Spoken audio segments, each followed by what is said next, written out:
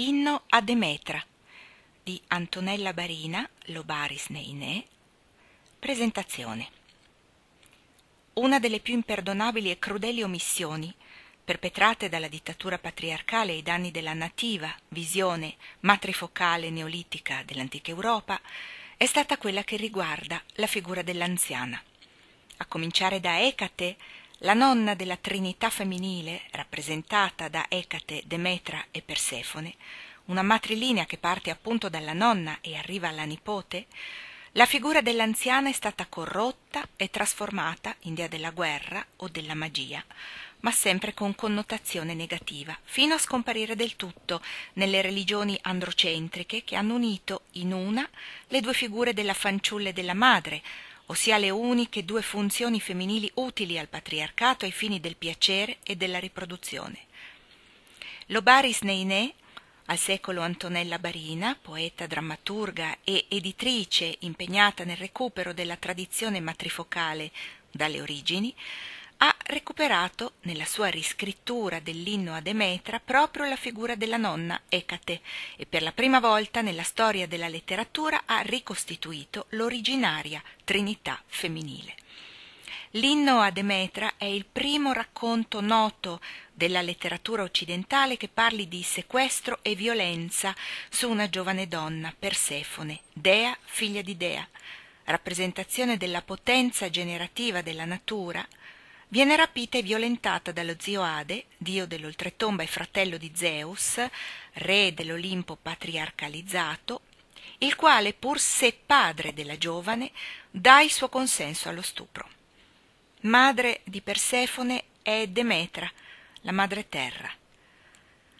L'atto di violenza consumato in ambito strettamente parentale spezza narrativamente l'età dell'oro, che altro non è se non l'età contrassegnata da una gestione materna simbiotica con la terra. Un'età dell'oro rappresentata nell'inno a Demetra dalla magnificenza dei fiori e dei giochi delle giovani al momento del rapimento. Antonella Barina, Lobaris Neinè, ha riscritto l'inno a Demetra restando il più fedele possibile all'originale, ma cercando di restituire il senso genealogico femminile che lo caratterizzava in origine. Catalogato come pseudomerico, l'inno è stato variamente rimaneggiato nel tempo, soprattutto nella parte finale. Nella sua riscrittura l'inno presenta caratteristiche eccezionali. In primo luogo è straordinariamente libero da rivalità tra i personaggi femminili. Le protagoniste sono solidali tra loro e alla fine si reincontrano ricostituendo la sacra Trinità iniziale. Secondo la visione dell'autrice, molti indizi fanno configurare l'inno a Demetra come sopravvivenza di un antico rito di passaggio femminile caratterizzato dal dono del melograno, simbolo di potenzialità creativa e di rinascita, dalla madre alla figlia che ha raggiunto l'età per riceverlo. Un sereno percorso di crescita della giovane con il consenso della madre e la presenza delle anziane. Nell'inno Ecate, la luna, compare sia all'inizio nella funzione di aiutante di una Demetra angosciata per il rapimento della figlia Persefone, che alla fine, quando la figlia torna alla madre. Presente Ecate, i tre aspetti del femminile si reintegrano nel reciproco triplice incontro finale. Viceversa, in ambito patriarcale, il rito di passaggio viene trasformato in una violenta iniziazione sessuale gestita dal maschile. L'inno patriarcalizzato ribalta nel suo opposto anche il simbolo del melograno, poiché in questa versione patriarcale i semi mangiati da Persefone sanciranno, per intervento e tranello maschile, il tempo della separazione dalla madre Demetra. L'inno a Demetra racchiude in sé anche la relazione forte tra due donne legate dal medesimo sangue. Quest'inno insegna, inoltre, che la madre terra, nucleo semantico del femminile e somma rappresentazione della femminilità, se offesa nelle sue manifestazioni più vitali, smette di dar frutto. Drammatiche e precise, sono le pur brevi descrizioni che l'inno a Demetra dà dell'alterazione dell'equilibrio dell'ecosistema, quando vengono turbate le leggi insindacabili che regolano la produzione e la riproduzione degli esseri, vegetali e animali. Il dolore di Demetra, la madre terra, è universale e la sua potenza terribile. Di questo ci parlano gli antichi saperi, a proposito della violenza commessa su una giovane donna, così grave da mettere in predicato la sussistenza di tutto il genere umano. Ricercatrice scalza si definisce Antonella Barina, avendo per oltre quarant'anni in piena libertà e autonomia e sempre a sue spese viaggiato e studiato il divino femminile. In questa versione riscritta gli epiteti fastosi dedicati al padre fedifrago Zeus della versione pseudomerica sono contestualizzati in modo da farne risaltare l'ironia. Estranea al testo originario è la richiesta di perdono da parte di Ade a Persefone prima del ritorno di lei alla luce, necessaria per rendere credibile nell'oggi il ritorno periodico della giovane dea nel cuore della terra, non più visto come regno degli inferi. Il racconto, infine, si conclude dove Demetra e Persefone si ritrovano e dove la genealogia femminile si riconosce e si ricostituisce nella benedizione dell'antenata Ecate. L'inno va riscoperto e possibilmente riletto per approfondimento nelle sue diverse versioni in quanto canto ecologico alla libertà femminile, alla forza delle donne e alla restaurata relazione con la propria genealogia, in accordo, secondo l'autrice, con il lavoro sulle antenate svolto in questi anni da Devana, figlia di Liliana, la sottoscritta, e confluito nella scuola delle donne, da me creata e diretta, e alla quale l'autrice consegna questo inno a Demetra per una diffusione nei canali della libera ricerca.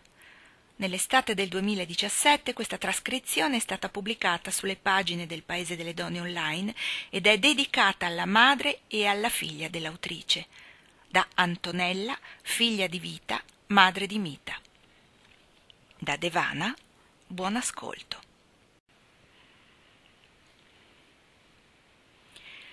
Dei mondi che gli umani sono soliti narrare, vi è il mito in cui Ecate Demetra e Persefone erano tra loro benigni e solidali. Questo era quando le comunità umane erano gestite dalle belle madri. A quei tempi il melograno era il dono che madre e figlia si scambiavano al passaggio d'età, quando una tramonta e l'altra sorge come luna piena. Allora i parti erano assistiti dalle anziane, le sorgenti e le pietre erano sacre. Ma quando le leggi dei padri presero il sopravvento, Venne tempo di guerra e sangue infecondo, scorse nelle piane a intristire fiumi e monti. Nessuno scampava, ogni aurora era funestata da nuove battaglie e comandava chi in quelle battaglie si era distinto per crudeltà e sete di dominio. Le giovani furono alla mercé dei maggiorenti. In quel tempo intermedio le madri nulla potevano ma Demetra lottò con l'aiuto di Ecate e Luna per liberare la propria figlia Persefone, che Ade, dio degli inferi, aveva rapito in accordo con il fratello Zeus, re dell'Olimpo, oltre che inqualificabile padre della giovane. Giove e Ade, i patricidi figli di Crono, agivano la legge maschia del potere che nella distruzione rinnova se stesso. E il crimine attraverso cui questa legge si manifesta, viene coperto e si aggiusta per la ragion di Stato che complice lo occulta. Benedetti quelli che intendono il linguaggio dei fiori e non mettono le giovani alla mercé di gerarchie che ignorano la forza dell'amore. Benedette le non sottomesse che lottano per se stesse, come per le altre, e alla lunga vincono ogni battaglia intrapresa.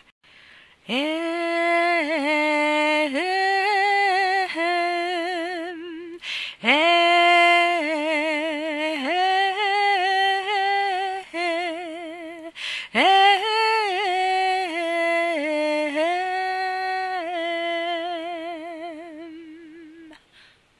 canto la dea dai capelli magnifici, Demetra la grande, canto di lei e di sua figlia dalle belle gambe rapita da Ade, cosa che l'oscuro, tonante, onnipotente Zeus permise di nascosto alla dea dei frutti e alla sua ascia fulgente, mentre Persefone Core, la fanciulla, giocava lieta e con le sue compagne coglieva nel prato rose in boccio e fiori di croco e viole profumate e iridi e giacinti e il narciso il quale per comando di Zeus tradì la giovane dagli occhi gentili che stava ammirando quel frutto della terra a tutti donato un prodigio di fiore che incanta genti e dee mortali e immortali.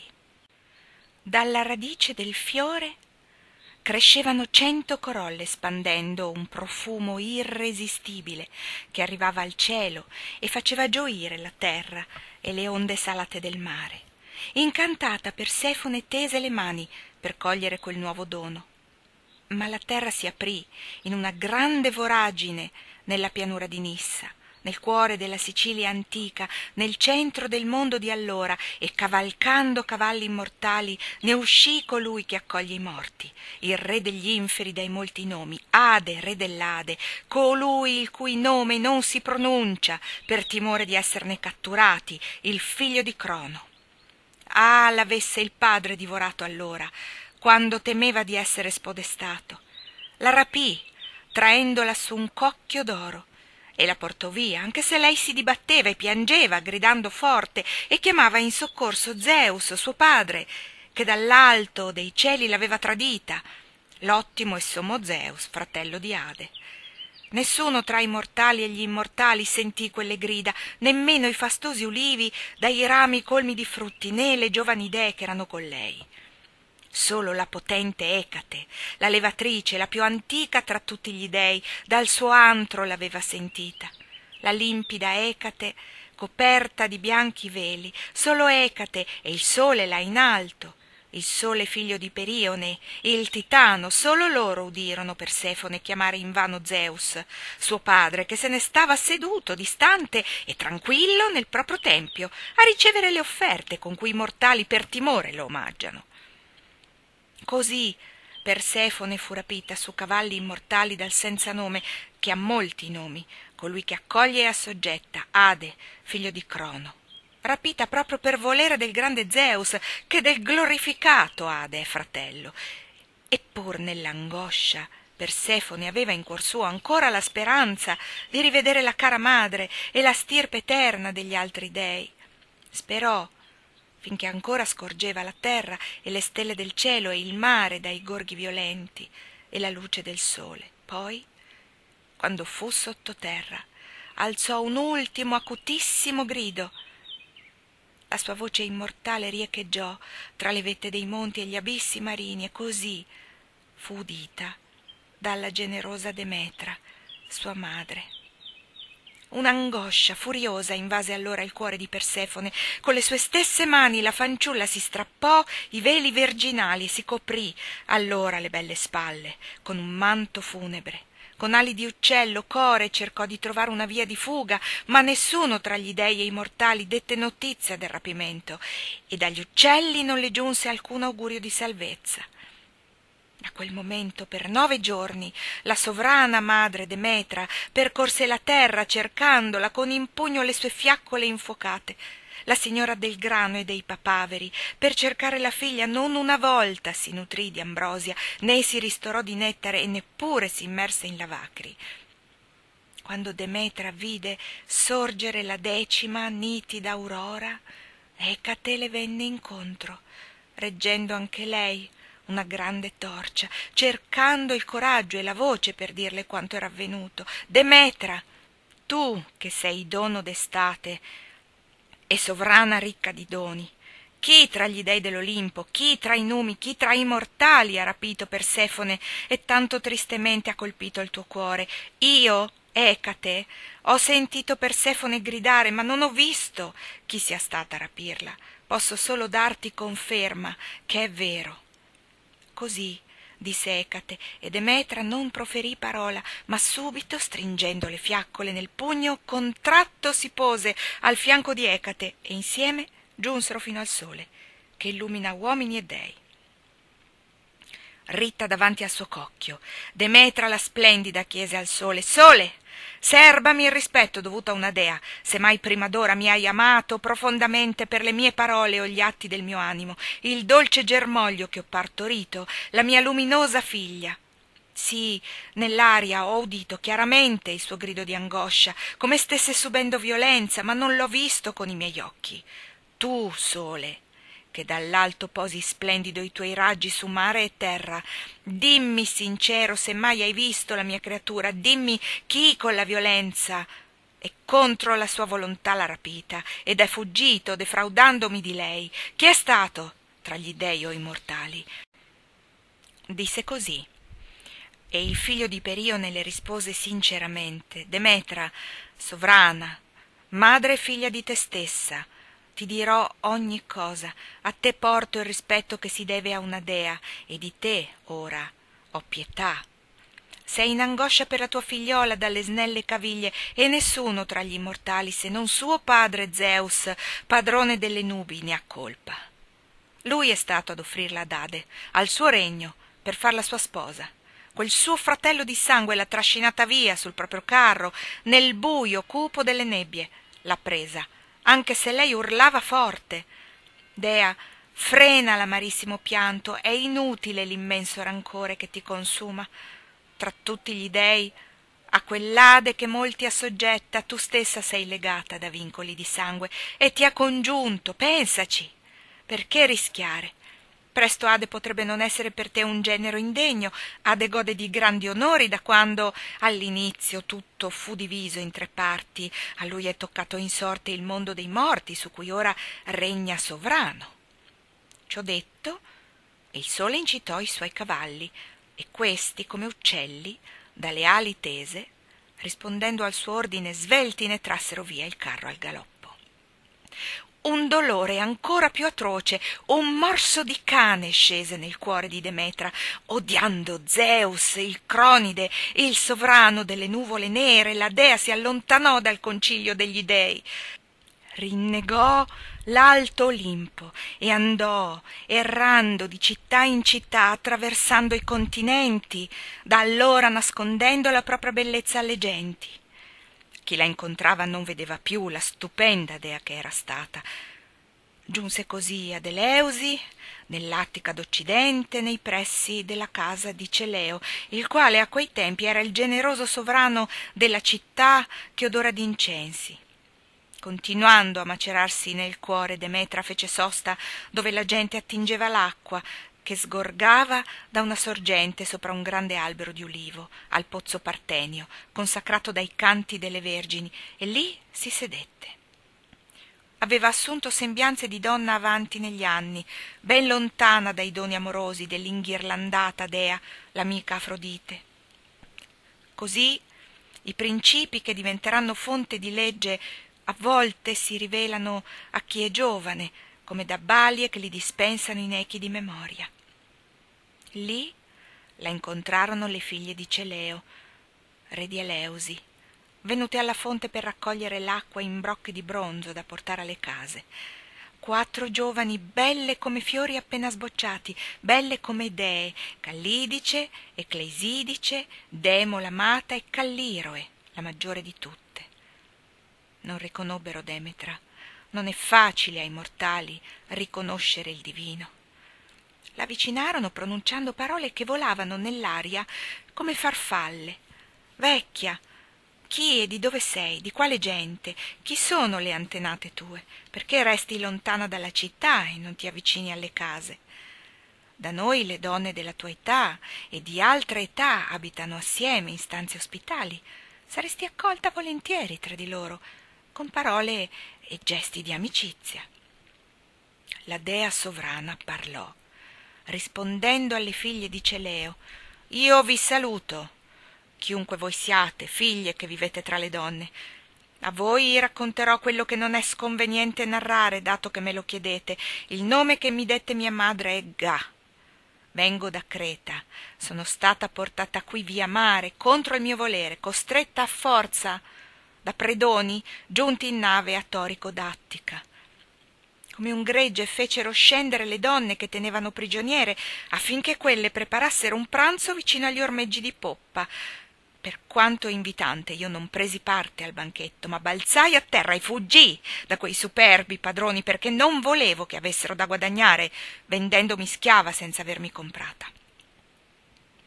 Vagando sono arrivata fin qui, ma di questa terra non so nulla, né che terra sia, né chi ci vive.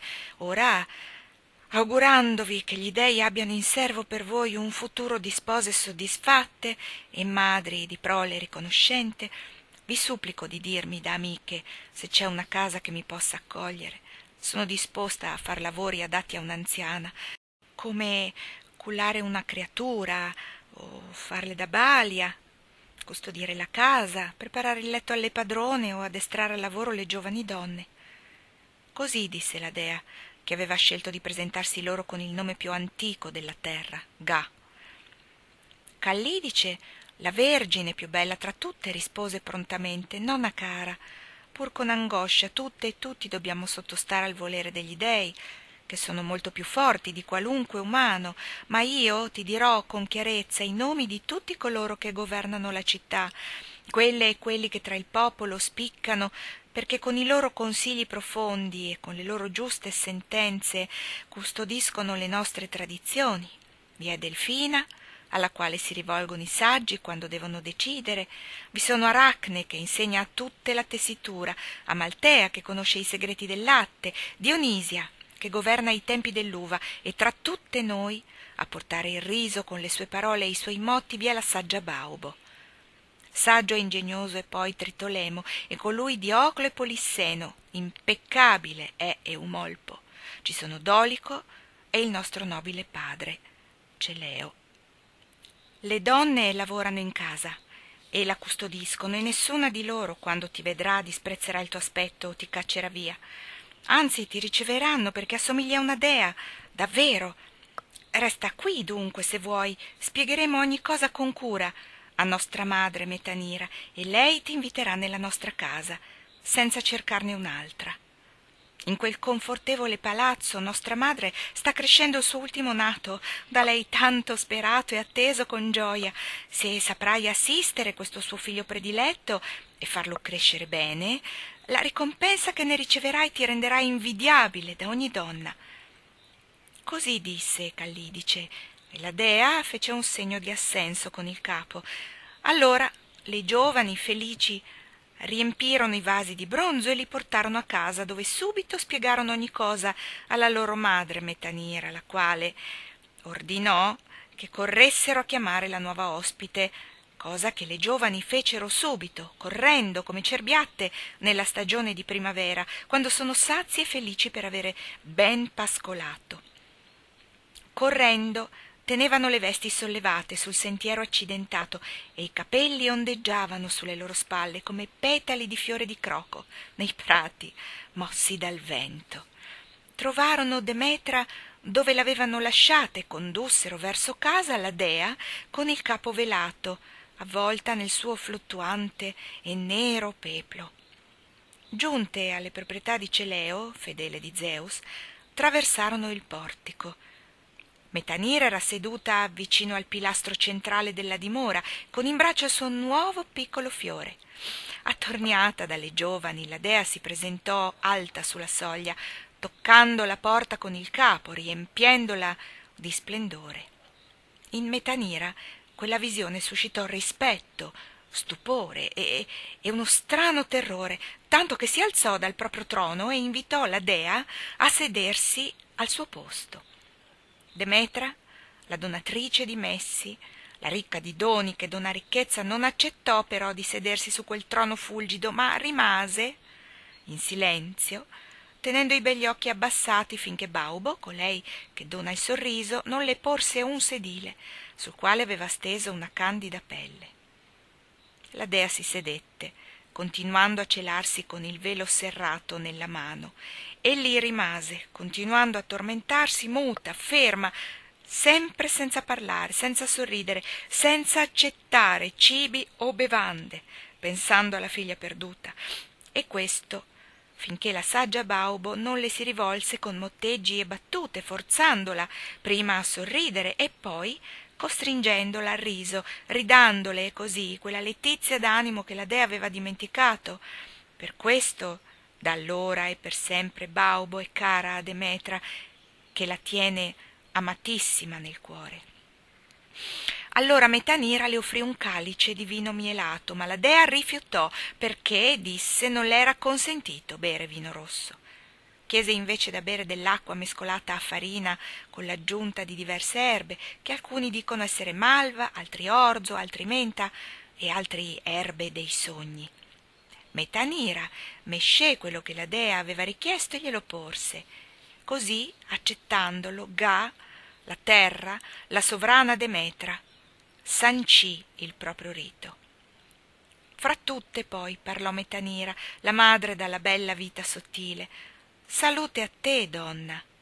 Non credo che tu sia nata da gente qualunque, perché i tuoi occhi irradiano quel rispetto e quella nobile grazia che sono proprie delle stirpi regali.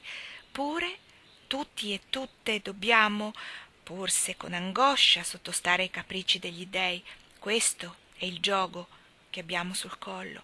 Ma fra di noi tu avrai tutto quello che ho anch'io, tu alleverai il bambino che ho avuto quando avevo smesso di sperare. È venuto e lo amo sopra ogni cosa. Se saprai allevarlo e farlo crescere nel modo migliore, la mia ricompensa sarà tale che ogni donna ti invidierà. E Demetra, la dea delle ghirlande, rispose a Metanira, Donna, salute anche a te che gli dei ti siano propizi.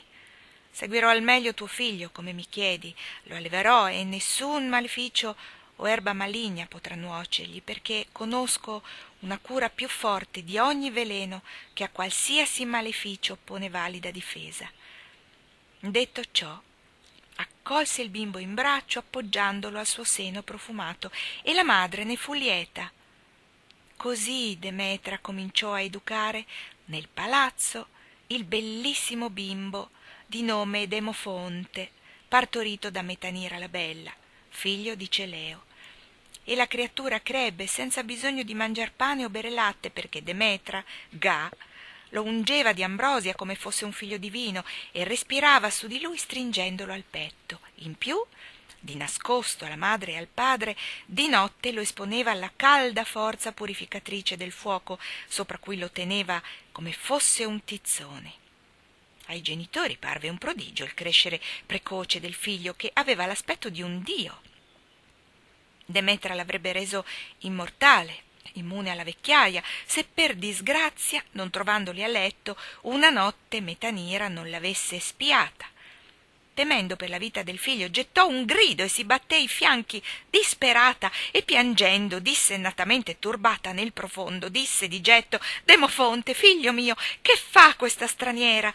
Ti immerge in un gran fuoco e mi getta nella disperazione e nella pena.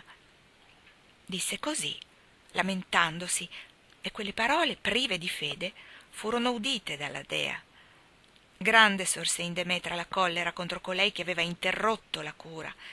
Con le sue braccia immortali spinse lontano da sé il piccolo nato oltre ogni speranza e adirata ne rimproverò con rabbia la madre. Umani, privi di senno, incapaci di prevedere la sorte che vi attende nel bene e nel male. Tu incapace di fiducia, tu nei miei confronti hai sbagliato. Mi siano testimoni le acque dell'infero stige su cui noi dei giuriamo. Io tuo figlio l'avrei reso immortale immune per sempre da vecchiaia e per tutti i suoi giorni gli avrei dato infiniti privilegi. Ma ora ora non potrà più sfuggire agli artigli delle chere i potenti spiriti della morte. Demofonte avrà tuttavia per sempre l'onore infinito di aver riposato sulle mie ginocchia e tra le mie braccia a lui sentenziò dedicherete le feste e i giochi nei quali i giovani di Eleusi si affronteranno ogni anno. Io sono la luminosa e onorata Demetra, quella che dispensa gioia e supremo conforto a mortali e immortali. concedo al tuo popolo di erigere un grande sacrario e un'ara a me dedicati vicino alla rocca e alle mura di Eleusi, sulla collina, sopra la fonte Callicora. Sarò io a insegnarvi, io in persona, i miei riti, in modo che in futuro li celebriate degnamente per continuare a placare la mia ira e salvarvi. Alla fine di questo pronunciamento la dea mutò di statura e figura, svestendosi della forma di vecchia e manifestando la propria bellezza. Intorno si diffuse la fragranza delle essenze di mille e mille fiori e il suo corpo immortale si illuminò di luce radiosa. Biondi capelli le si allungarono folti fino alle braccia e come colpita da un fulmine la casa si riempì di quella scintillante, inaspettata visione di luce. Demetra uscì dalle sale del palazzo. Intanto la povera metanira sentiva venirle meno la forza alle ginocchia rimase a lungo impietrita, dimenticando perfino di sollevare da terra il suo bimbo prediletto. Furono le sue figlie, le sorelle, svegliate dai pianti del piccolo, ad accorrere, ed una lo prese tra le braccia, stringendolo al seno, l'altra ravvivò il fuoco, la terza accompagnò la madre a letto, vivificandolo di essenze. Affollandosi intorno con ogni cura, lavarono il bimbo scalciante ma il piccolo non smetteva di piangere perché non c'era paragone tra loro e quella che egli era stata fino a poco prima balia e nutrice. Per tutta la notte le giovani cercarono di placare la dea gloriosa che la loro madre non aveva saputo riconoscere e tremavano di terrore. Quando sorse l'aurora andarono dal padre Celeo, annunciandogli quello che la dea delle ghirlande aveva comandato. Il potente Celeo chiamò allora in adunanza tutte le genti del suo popolo e ordinò la costruzione di un magnifico santuario e che fosse eretta un'ara sulla collina sopra Callicora, dedicati a Demetra dalle splendide chiome. Il popolo ascoltò Celeo e gli obbedì. Poi, quando ebbero concluso quella fatica, ciascuno tornò alla propria casa. Avevano eretto il nuovo tempio che sorse magnifico in onore a Demetra la dea vi entrò e prese posto, lontana da tutti gli altri dei, perché non cessava in lei l'angoscia per la bella figlia che le era stata rapita. Quell'anno la terra che tutti nutre fu spaventosamente sterile e non rilasciò alcuna semenza per l'anno a venire, poiché per il dolore Demetra nascondeva ogni seme dentro di sé, senza lasciarlo germogliare. Invano i buoi trascinavano su e giù per i campi gli aratri ricurvi. I semi del candido orzo cadevano a vuoto nei solchi, senza dar frutto. La stirpe degli umani, già per sorte destinati alla morte, moriva di fame. Gli dei non potevano così ricevere in dono altre offerte e doni propiziatori. Allora Solo allora Zeus prese atto di quanto avvenuto e cercò di rimediare, chiamando Iride, la signora dell'arcobaleno, la messaggera dalle ali dorate, affinché andasse a parlare con Demetra la splendida. Iride obbedì al signore delle nuvole nere, a Zeus, figlio di Crono, e raggiunse la rocca di Eleusi, da dove si alzava il profumo degli incensi. E trovata nel sacrario Demetra ancora avvolta nel velo del lutto, disse L'onnipotente Zeus ti chiama, Demetra. Vuole che ti presenti al cospetto delle schiere dei numi immortali. Vieni, non ignorare il suo ordine. Iride pregò Demetra di ascoltare Zeus, ma non riuscì a convincerla. Allora il re degli immortali mandò da lei tutti gli dei, e ognuno di loro, uno dopo l'altro, portavano grandi, magnifici doni e la supplicavano di accettarli, ma nessuno riuscì a piegare il suo cuore e la sua mente. La dea era tanto adirata e triste da spregiare ogni loro consiglio. La dea delle ghirlande e della vita della terra ripeteva che mai più sarebbe tornata ad annusare gli incensi dell'Olimpo, mai più la terra avrebbe ridato frutti se non avesse potuto rivedere con i suoi occhi la sua bella figlia adorata, che era stata rapita da Ade. Allora Zeus, il cupo dio dei tuoni, vide e capì il proprio sbaglio e decise di inviare nell'erebo, nel buio profondo e primordiale, nel regno delle ombre, il proprio figlio Hermes, l'uccisore di Argo, il gigante dai cento occhi, affinché il messaggero dal bastone d'oro, coronato di serpenti, trovasse le parole per convincere Ade a riportare Persefone alla luce, traendola dalle tenebrose nebbie di cui era prigioniera, in modo che la madre, Demetra, potesse vederla con i suoi occhi e cessasse l'ira implacabile che aveva votato il mondo a una carestia senza fine. Hermes acconsentì, pronto a quella nuova missione, e partì dall'Olimpo per scendere subito in un baleno nelle profondità oscure degli inferi. Il messaggero trovò Ade nel suo palazzo, comodo sul suo trono, con vicino Persefone che non smetteva di invocare la madre Demetra, la quale da distante continuava a maledire tutti gli dei meditando vendetta. Avvicinatosi al trono, il messaggero dalla verga d'oro disse Ade, signore dalle nere chiome che domini sovrano il regno dei morti, il padre Zeus, tuo fratello, ti ordina di liberare dal buio la lucente Persefone e di ricondurla presso i celesti, così che sua madre Demetra la veda, con i propri occhi, e condoni agli immortali l'aver scatenato la sua collera, l'ira inesorabile per la quale ha deciso di estinguere le stirpi degli umani, in modo che nessun dio o dea riceva mai più da loro offerte ed onori. Un'ira tremenda è in Demetra, non vuol più sedere tra gli dei e in disparte dimora in un nuovo tempio, odoroso di incensi, che si è fatta costruire sull'impervia fortezza di Eleusi. Così disse Hermes, messaggero di Zeus, e Ade, il re degli estinti, nascose la contrarietà in un sorriso e assecondò il comando di Zeus. Si rivolse a Persefone dicendole Demetra è avvolta nei veli del lutto, Persefone, puoi tornare da lei. Ma se rimani qui, dominerai tutto ciò che abita il profondo buio, riceverai onori da tutti gli altri dei, mai più qualcuno potrà offenderti. Saranno duramente puniti coloro che non placheranno la tua ira con offerte, coloro che non celebreranno con i doni dovuti Persefone, figlia di Demetra, la potente Demetra ora ha Giove dalla sua parte e se decidi altrimenti io nulla posso contro di lui. Ignoravo che neanche agli dei è dato offendere la madre terra. Da qui io chiedo perdono a te e alle tue schiere. Non so se varrà a salvare l'umanità dall'incubo in cui è precipitata, se puoi non odiarmi. Conserva sereni il cuore e la mente. Così disse Ade. E Persefone, Core, Gioì all'idea di poter tornare dalla madre. Prima che partisse, Ade la pregò di accettare qualche chicco di melagrana e questo parve a Persefone segno di pacificazione da parte del dio dei morti.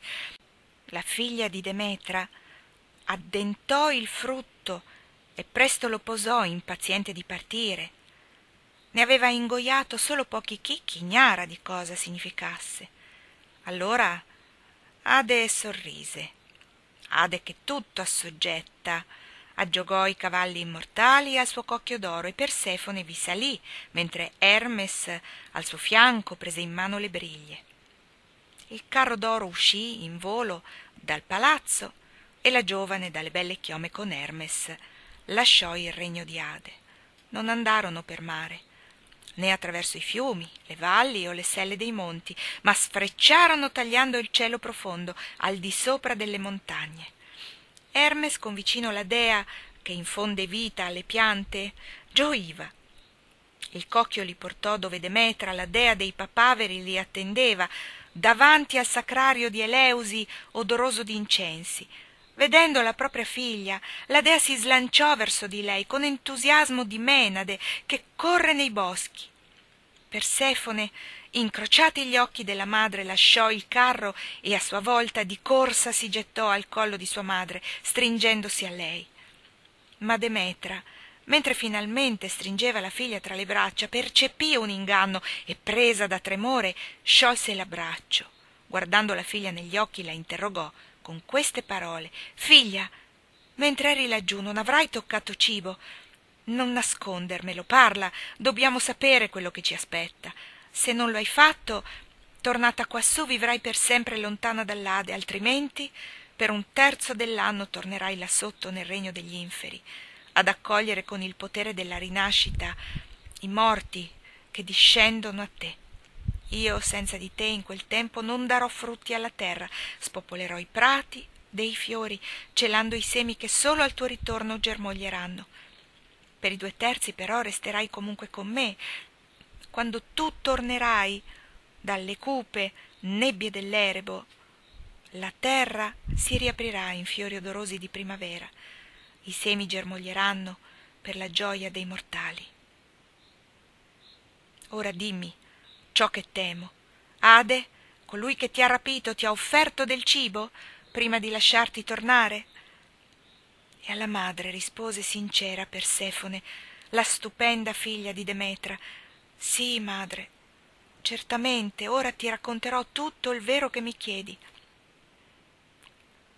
Quando Hermes è venuto per ordine di Zeus a riscattarmi dall'erebo, affinché io tornassi da te e tu potessi di nuovo vedermi con i tuoi occhi, perdonando gli dei e ponendo fine alla tua collera, ero stordita di felicità. È stato allora che Ade, nel chiedermi di perdonarlo, mi ha offerto un frutto di melagrana e io ne ho accettati alcuni chicchi, appena un morso. Ho sbagliato, madre. Ade era così diverso mentre chiedeva perdono. Era lo stesso Ade quello che mi aveva gettato sul cocchio per rapirmi e quello che preparava il cocchio d'oro per lasciarmi partire. Demetra, la madre, non disse nulla, perché nessuna, né donna né dea, ha un rimedio sempre valido di fronte alla doppiezza dei figli di Zeus. Tacque la dea delle ghirlande, e il suo silenzio era tremore di monti e valli. Non disse nulla, perché i mari si innalzano alti sopra le coste, a prescindere dai torti e dalle ragioni degli dei e degli umani. E non volle offuscare con ciò che sapeva il futuro di Persefone. Tacque Demetra. Era lieta di non aver perduto per sempre la propria figlia. Ora, disse Persefone, ti dirò come Ade mi ha rapita, ti narrerò ogni cosa. Ero con le mie compagne nel mezzo di un prato stupendo.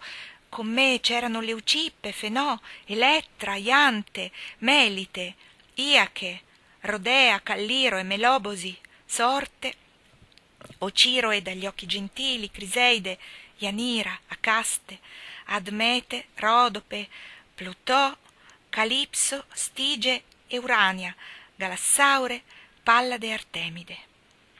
Giocavamo e io godevo del profumo e del colore dei fiori, mischiavo al croco le iridi, i giacinti, le corolle di rose, i gigli e il narciso che ho colto per ultimo.